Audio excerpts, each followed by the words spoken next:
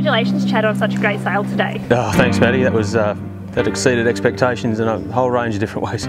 You must be proud seeing your, your rams go to all different states across Australia and oh, to New Zealand. Yeah, well, it's, it's really encouraging. It's uh, it's one thing to put data together, but we can then communicate the message through data, and and uh, people are picking up on that and coming from all across the country, quite literally. Western Australia, Tasmania for the first time, uh, New Zealand back again, uh, New South Wales, Queensland, South Australia. It's it's Victoria. Really exciting to Yeah. see it going everywhere it's going.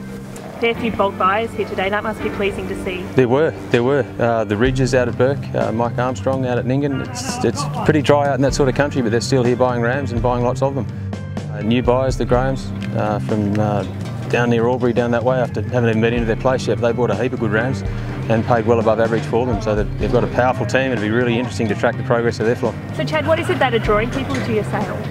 Well, the feedback I'm getting, Matty, is that it's it's information, data. We can measure the traits that are important to people.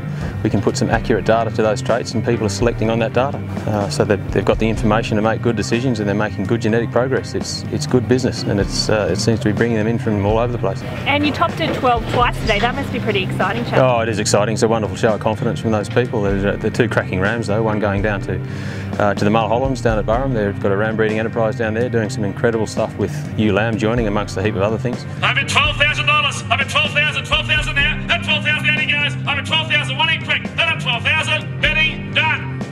Line number twenty-five. Twelve thousand dollars. and also Alaburn Merinos. Uh, they're doing some great stuff with their sheep as well, so it'll be interesting to see these two sons of 652, what they can do in, in these new flocks.